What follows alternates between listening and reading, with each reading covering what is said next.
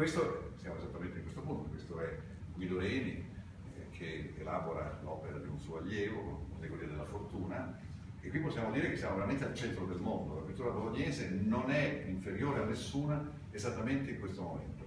Poi ha fasi straordinarie, che sono però legate prima all'apparizione di Cimabue poi a quella di Raffaello, che arriva nel 1500 e determina una rivoluzione in tutta la pittura emiliana e del nord Italia. Poi si arriva a un Settecento che è ricco di stimoli, per cui il meraviglioso Crespi, ma il punto forte della pittura bolognese è questo che ho alle mie spalle ed è una meravigliosa pittura ideale che supera addirittura Raffaello con Guido Reni